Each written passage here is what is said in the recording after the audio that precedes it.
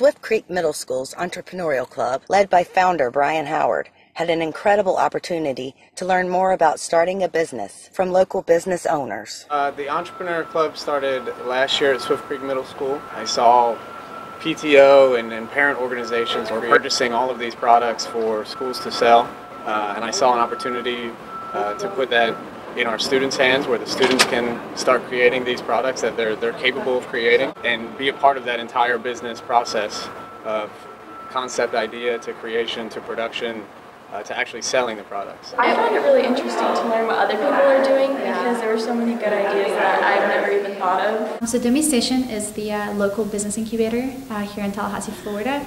We work with startups and entrepreneurs. So Bryan actually reached out to us. Um, you know, he had this awesome entrepreneurial club, and you're not ever too young to have an idea. Um, so I also wanted them to understand that.